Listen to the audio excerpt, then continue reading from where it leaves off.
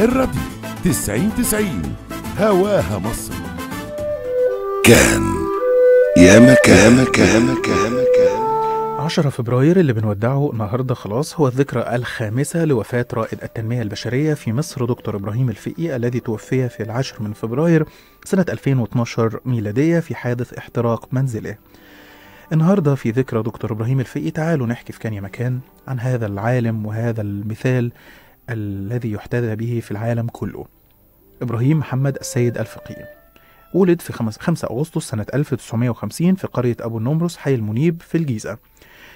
حصل على بطولة مصر في تنس الطاولة لسنوات عديدة ومثل مصر مع المنتخب الوطني في بطولة العالم لتنس الطاولة في ألمانيا الغربية سنة 1969 دكتور إبراهيم الفقي كان بيحكي إن هو صغير كان شايف نفسه لما يكبر هيبقى غني جدا مشهور جدا وهيكون مدير لأحد الفنادق الكبرى.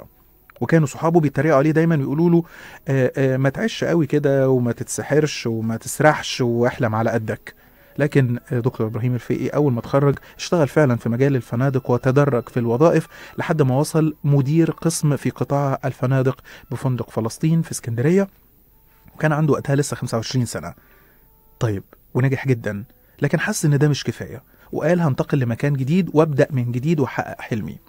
سافر مع مراته لكندا وقرر إنه يدرس هناك علم الإدارة. وكان هو ومراته في الوقت ده لا يملكوا أي شيء. فاضطر يشتغل في فندق في منصب أقل بكتير من اللي كان شغال بيه في مصر ومرتب أقل طبعا. وظيفة تنظيف أطباق زي ما بيقولوا عليها غسل الأطباق والصحون. اشتغل كمان في وظيفة حارس مطعم واشتغل كمان شيال كراسي وترابيزات. سنة 1980 فقد الوظيفة دي. وفي نفس الفترة دي رزق بتوأم ما كانش يملك إن هو يقدم لهم أي شيء غير يدوب الأكل لدرجة إنه طلب معونة من كندا علشان يقدر يصرف على عيلته. بعد بحث وتدوير كتير قدر يلاقي وظيفة في مطعم وأثبت فيها جدارته بقى مدير المطعم. كان بيشتغل في المطعم من 9 الصبح ل 3 العصر وبعدها بيروح يدرس في جامعة كونكورديا ويرجع تاني بالليل لشغله في المطعم. فضل دكتور إبراهيم الفقي رحمة الله عليه يتقدم في وظيفة ال- الويتر خطوة خطوة. وما قالش أصل أنا بشتغل كذا أصل أنا كذا. لا الراجل بعد ما كان وصل لمنصب عالي في مصر في مجال الفندقة سافر وقرر يبدأ من من جديد بره.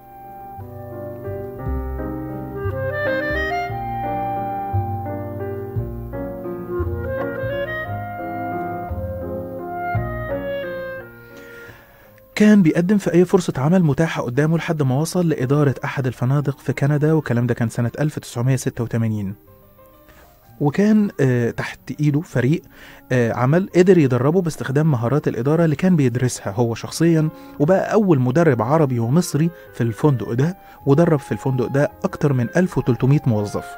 قدر كمان مع فريقه إنه يرتقي بالفندق عدة درجات يعني مثلا بعد ما الفندق كان نجمتين وصل لثلاثه ثم أربعة ثم خمس نجوم. ده تقييم الفنادق. وخلال فترة إدارته للفندق كمان ما بطلش دراسة وكان بينتسب لكل الدورات التعليمية المتاحة لحد ما حصل على جايزة دولية من أمريكا كأفضل طالب منتسب. وفجأة بعد كل النجاح اللي حققه برضه دكتور إبراهيم الفقي في شغله في الفنادق أصحاب الفنادق الفندق قرروا إن هم يصفوا الفندق وهيبيعوه والفندق هيتقفل خلاص. سحبوا من دكتور إبراهيم كل الامتيازات اللي حصل عليها خلال شغله. كان في عربية وكان في آه، راتب كبير ورجع اليوم ده في البيت آه، بيته بتاكسي. لأن الموضوع كله حصل فجأة. دكتور إبراهيم الفقي مر بفترة عصيبة جدا وصعبة جدا قال عنها إنها كشفت له كتير من المقربين اللي تخلوا عنه أول ما تعرض لأزمة حقيقية كبيرة في حياته.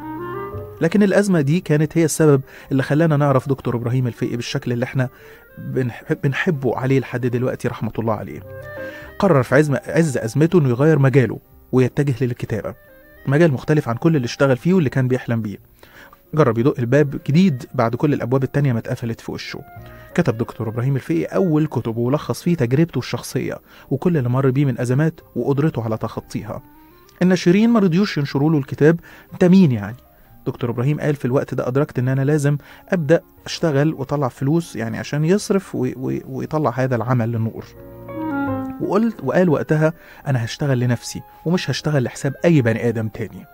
فقرر إنه ياخد آخر فلوس باقية معاه ويطبع وينشر بيهم الكتاب على حسابه الخاص. طبعا مغامرة غير محسوبة وفي ظروف عصيبة كان بيمر بيها في الوقت ده. الكتاب نجح وباع أكتر من 5000 نسخة في ثلاث شهور. كسب منه 100 ألف دولار وكتب كتابه التاني وبقت الشركات بتتهافت عليه علشان تعرض عليه وظائف مرموقة جدا لأنه هذا الرجل أصبح خبيرا في علم الإدارة. كان بيرفض أي عروض توظيف. وخلال الفترة دي قدر يحصل على دكتوراه في الميتافيزيقا أو علم ما وراء الطبيعة وقدر كمان يحصل على 23 دبلومة مختلفة وبدأ يتعلم فن الإلقاء وكانت البداية من خلال محاضرة ألقاها في شركة بترول سنة 1000 آه لا آسف آه بحضور آه 1500 موظف. وبعدها بدأت دعوات كتير تجيله للسفر لدول مختلفة وبدأ يظهر في العديد من اللقاءات التلفزيونية في الدول دي. اشتهر بره مصر كمحاضر مخضرم بيحضر له ناس كتير من كل جنسيات العالم. دكتور إبراهيم الفقي قرر بقى أنه لازم ينقل تجربته للوطن العربي وتحديدا مصر رغم أنه كان قلقان جدا من الخطوة وحاسس أن محاضراته في مصر مش هتنجح لكن على عكس المتوقع أول محاضرة لدكتور إبراهيم الفقي في مصر حضرها 1400 لو جينا نقول وصلت وصل عدد حضور محاضرات دكتور إبراهيم الفقي وصل لقد إيه؟ وصل لعدد حضور الاستاد. أنت بتتكلم في مئات الألاف كانوا بيحضروا لهذا الرجل العالم رحمة الله عليه. توالت المحاضرات والندوات والدورات التدريبية اللي كان بيقدمها دكتور إبراهيم الفقي وطبعا البرامج التلفزيونية واللقاءات. دكتور إبراهيم الفقي كتب عدد كبير جدا من الكتب اللي بعضها باع أكتر من مليون نسخة. وكان بينشر الكتب باكثر من لغة. كانت اللغة الغالبة العربي طبعا والإنجليزي والفرنساوي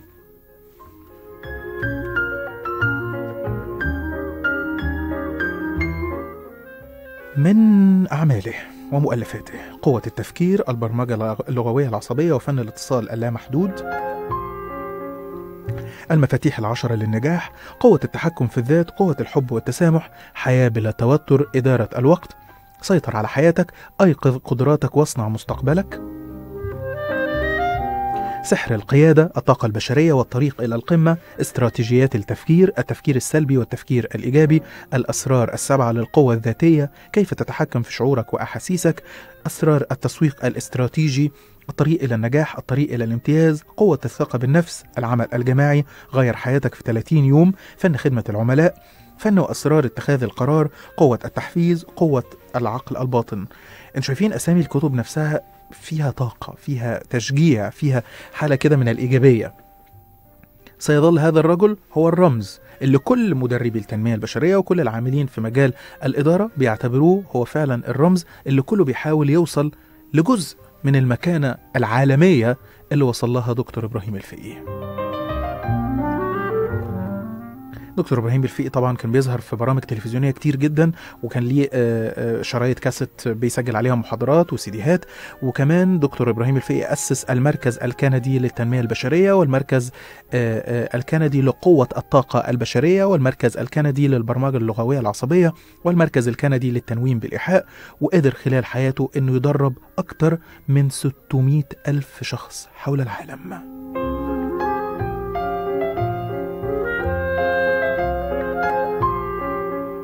تعالوا نختم ببعض من أقوال دكتور إبراهيم الفقي. بس قبل ما نختم أنا شرفت إن أنا قابلت الراجل ده. أه واستضفته كمان في لقاء تلفزيوني.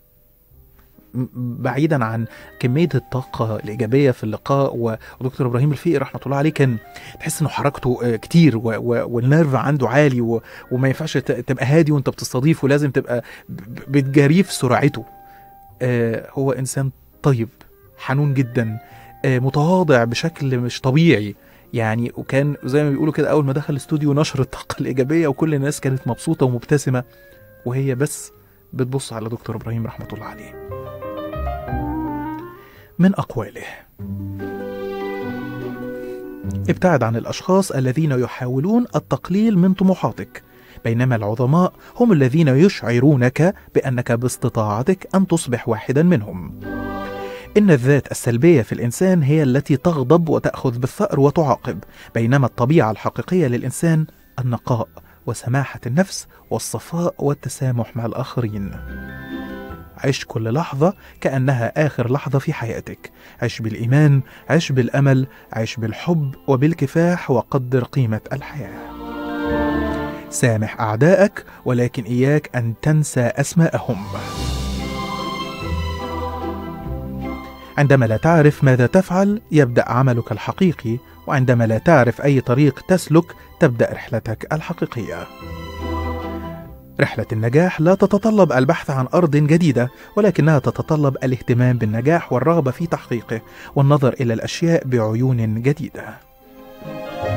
عندما ترتفع سيعرف أصدقاؤك من أنت ولكن عندما تسقط ستعرف أنت من أصدقاؤك.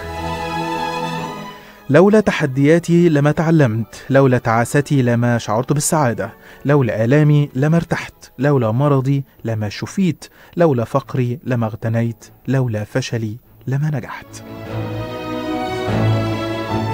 احتفظ بابتسامة جذابة على وجهك حتى إذا لم تكن تريد أن تبتسم فتظاهر حتى بالابتسامة حيث أن العقل الباطن لا يفرق بين الشيء الحقيقي والشيء غير الحقيقي. ومن ذلك يجب عليك أن تقرر أن تبتسم. صديقي ابتسم الآن. أحيانا يغلق الله سبحانه وتعالى أمامنا بابا لكنه يفتح لنا بابا آخر أفضل منه. ولكن معظم الناس يضيع تركيزه ووقته وطاقته في النظر إلى الأبواب المغلقة. انظر إلى أبواب الأمل التي تفتح أمامك على مصراعيها واترك الأبواب المغلقة.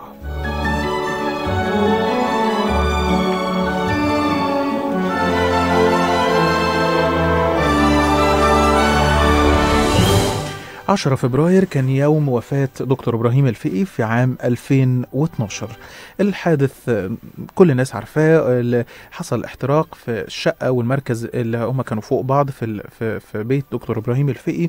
ولكن آه، سبب وفاته عشان بس يعني الناس اللي كانت بتحاول تطلع أي كلام هو الاختناق وليس الحريق. هو توفي وهو أخته في هذه الحادثة الأليمة. لكن دكتور إبراهيم الفقي كانت وفاته الاختناق وأثمانه كان سليم رحمة الله عليه.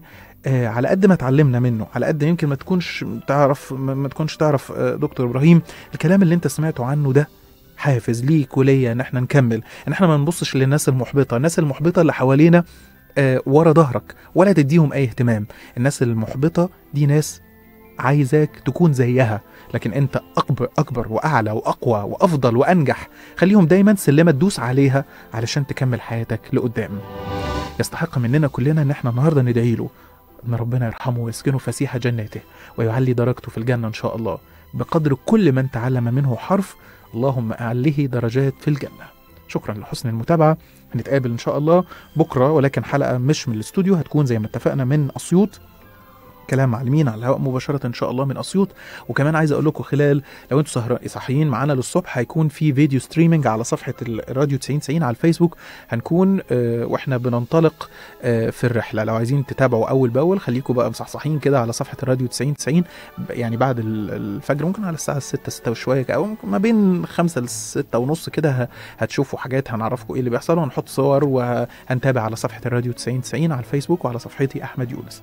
آه كمان آه بكرة طول اليوم هيكون برضو في فيديو ستريمينج هن على الفيسبوك هتشوفوا على صفحة الراديو 9090 التعبئة والمعلمين بيعملوا إيه وهيكون إن شاء الله زي ما اتفقنا حلقه على الهواء بكرة إن شاء الله بعد التعبئة وبعد الشغل.